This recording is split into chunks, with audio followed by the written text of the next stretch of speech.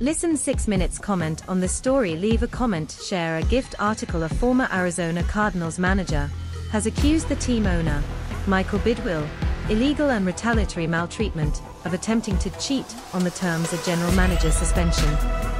Choose your plan Arrow right in an arbitration request submitted to NFL Commissioner Roger Goodell after Terry McDonough, former Cardinals coach Steve Wilks refused to participate in a plan, Bidwill cursed, scolded, and formally scolded eventually demoted him. He claimed, it was designed by Bidwill to use disposable phones to communicate with Steve Keim, after which he was suspended as the team's GM during training camp in 2018.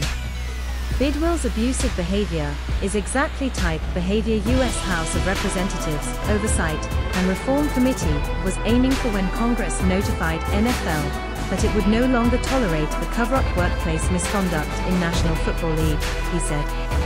A copy of the 29-page McDonough file was received by the Washington Post on Tuesday.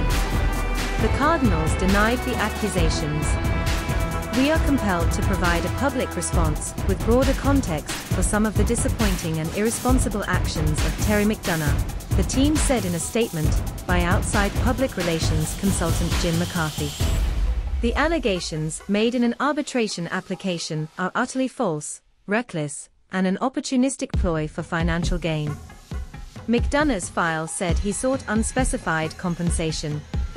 The NFL added through a spokesperson it could confirm that the claim has been received, and the league will be dealt with under its arbitration procedures. According to file, McDonough, son of late famed sports writer Will McDonough, spent 34 years in NFL for San Francisco 49ers, Cleveland Browns, Baltimore Ravens, Jacksonville Jaguars, and Cardinals. In McCarthy's statement, Cardinals stated they notified McDonough a few weeks ago his contract would not be renewed, assured we will meet the compensation terms for remaining year of contract, and also support any effort to continue his career elsewhere. The team said in December that Keim took medical leave, and then announced in January that he had decided to leave his post to focus on his health. The Cardinals fired coach Cliff Kingsbury the same day. They then hired Monty Ossenfort as their GM and Jonathan Gannon as their coach. The Cardinals fined and suspended Keim in 2018 after pleading guilty to drunk driving. Wilks cited this development when he joined the racial discrimination lawsuit against the NFL and teams last year by former Miami Dolphins coach Brian Flores. The lawsuit alleged that Wilks was a bridge coach who was not given a meaningful opportunity to succeed. The lawsuit said the Cardinals sacking Wilks is in stark contrast to their holding of Keim. Wilks was fired after just one season the Cardinals won 3-13 under him in 2018. U.S. District Judge Valerie Caproni ruled last month that Flores claims Dolphins, Wilks's against Cardinals, and Ray Horton's Tennessee Titans must be brought to arbitration under Goodell's jurisdiction under terms of their employment contract.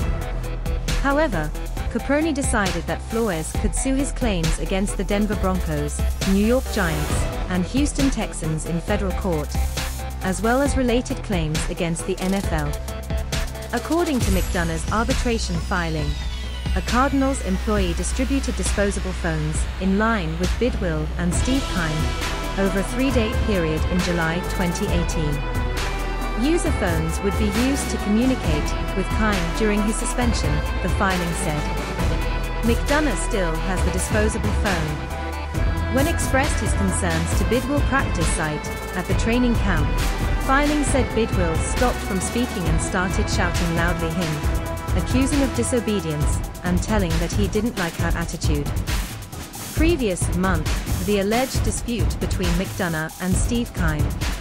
The filing states that Bidwill's abuse McDonough continues continues to this day, and consistent with a pattern of workplace abuse that has become the hallmark Bidwill running the widespread legendary Cardinals franchise.